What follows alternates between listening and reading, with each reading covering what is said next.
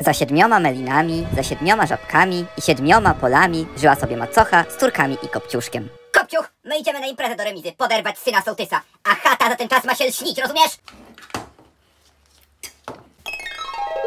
Matka chrzestna?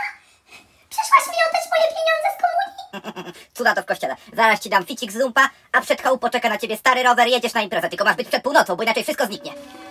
Ale jazda! Kopciuszek zjawia się na imprezie w remizie. Hej, piękna. Chyba coś do ciebie poczułem. Bo pierdnęłam? To nieważne. Chodźmy na parkiet. O nie, północ! Muszę wracać!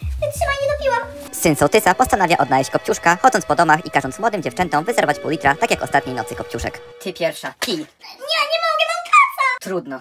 Teraz twoja kolej. Puka mnie to!